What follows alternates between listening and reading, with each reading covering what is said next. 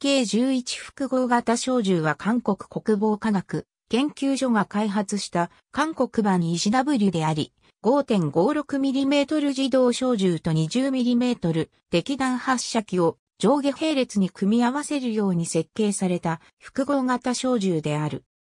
2008年に1万5000丁の正式採用が決定し、量産化、実戦配備に進んだものの、その後爆発事故の発生や射撃制御装置の亀裂など次々と欠陥、不祥事が続発しており、914兆の配備のみで中止状態にある。2018年8月に正式に戦力化中断が決定した。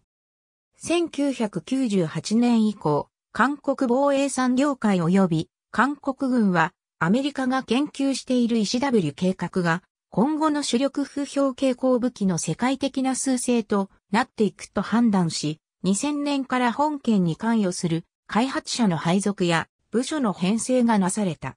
本銃の初期段階におけるコンセプトにおいては、他の石 W を単純にコピーするのではなく、同等のレベルの火力を付与するものとして開発が進められ、8年の研究の末2008年に XK11 のコードネームでテストモデル仕様が公開された。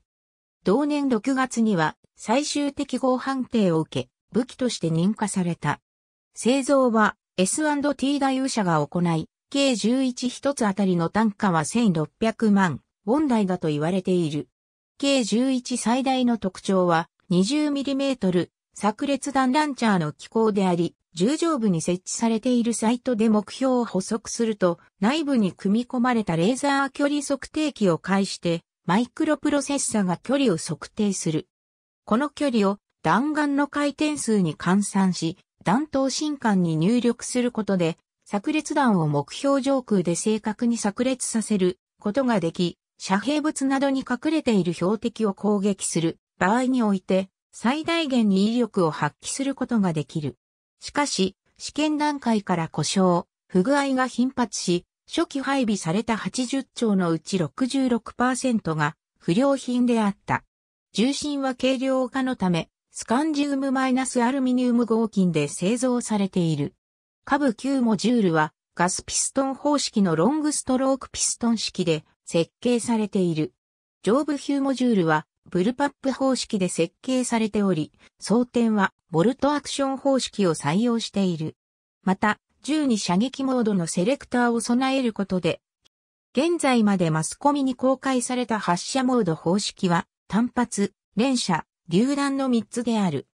また、上下モジュールは分離できず、ピカティニーレールのような拡張機能も備わっていない。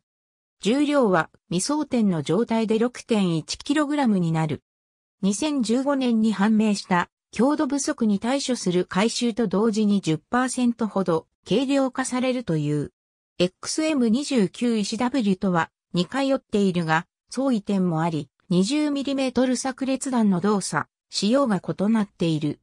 また XM29 石 W はグレネードランチャーモジュールがガス圧作動方式を利用したセミオートマチックであるのに対し K11 はボルトアクション方式である。2008年10月、韓国陸軍はこの武器を2009年以降の分隊支援火器として配備していくことを決定した。なお、2009年までにアラブ首長国連邦に40兆を輸出したとされる。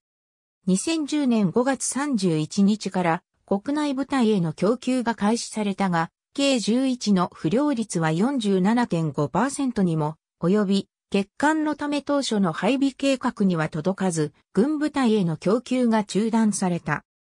2012年5月2日、韓国防衛事業庁は、配備済みの246兆を全量リコールし、撃発装置の設計変更、射撃統制装置、弾薬起爆装置のプログラム修正、電磁波干渉による誤動作の要因の除去をする予定であると発表した。2014年3月12日、国防部関係者が同日午前11時頃、軽機動さざ波側の国防科学研究所で試験射撃した K11 の新艦が爆発、試験射撃中だった歌手と横で待機していた上兵など3人が破片で負傷して、国軍一等病院で治療を受けているが生命には別状なく正確な事故原因を調査していると明らかにした。2014年5月30日、国防技術品質院が計11複合小充電磁波影響性実験を行ったところ、同機種の20ミリ空中炸裂弾は市販されている。一般的な磁石を近づけると、その時期を激発信号と誤認識して暴発する危険があることが確認された。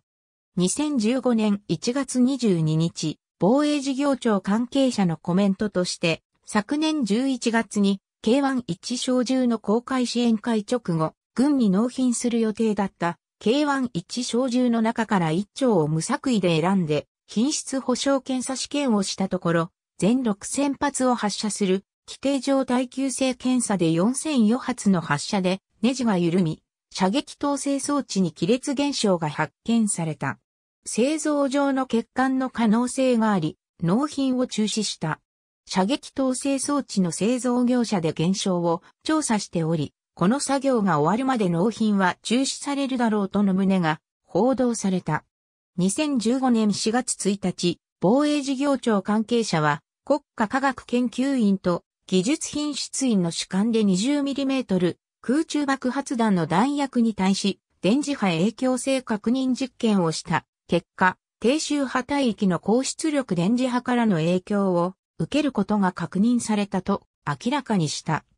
これにより、製造済みの 20mm 弾薬15万発余り、240億、ウォン相当をすべて廃棄しなければならない可能性があるという。また、同年1月の射撃統制装置の亀裂現象は、部品に生じた気候によるものと発表された。2015年5月12日、防衛事業不正政府合同捜査団は、計11複合小銃射撃統制装置の試験検査を偽り、納品代金を受け取った疑いで、軍事企業の事業本部長ら3人を拘束、起訴したと明らかにした。部品メーカーは試験装置を無断で変更し、衝撃試験の際に規定の3分の1のエネルギーしか引火していなかった。